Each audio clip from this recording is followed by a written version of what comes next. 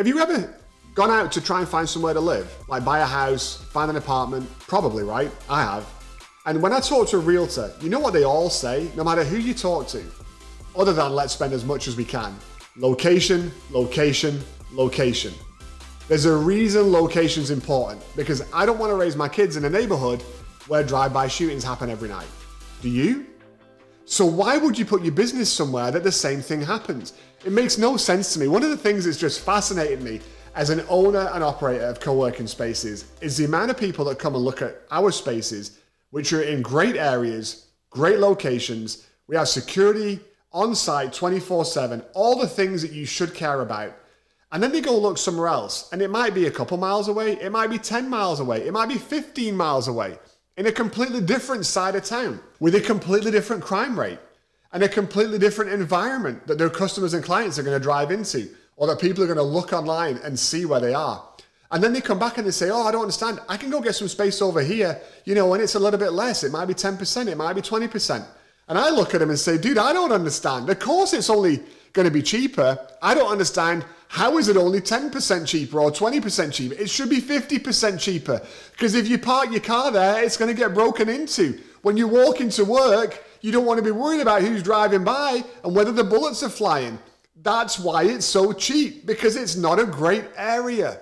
So when you're thinking about your business, and especially if you're starting out in business, listen, let Wise Old Mike give you a piece of advice. Put your business first, invest in your business first, and put everything you can into it. And when you do that, you stand the best shot of the business succeeding. When I was starting this business, we looked at all kinds of locations. And I gotta tell you, it scared the bejesus out of me when we actually signed the lease on number one because it was such a high end development. It was so much money. And I'm signing a personal guarantee for years and years of my life that I'm going to pay this back, thinking if this all goes wrong, dude, there's no way I'm paying this back. So I'm going to end up bankrupt. But we did that and we chose the best over every other location that was less expensive and we could have got into for less money. And the reason is because I learned this lesson a long time ago. You put everything you can in your business because you want to make everything you can out of your business. I don't want to go in a low end location because that's not going to do what I need it to do for me. It's not going to portray the image I need it to portray. And if you do the same thing, you're going to regret it. You're going to lose business. You're going to lose customers. When people look you up on Google, they are going to take one look at that business and think, holy moly, why would I want to do business with someone like that? I want to do business with winners. In the words of Kanye West, give me a room full of mirrors so I can be surrounded by winners. Surround yourself with winners. Put yourself where other companies and organizations are that you want to be associated with. One of our locations, we got Homeland Security in the building. We've got major companies in the area in the building. I got a Fortune 500 company in my space. I got a state representative in the building.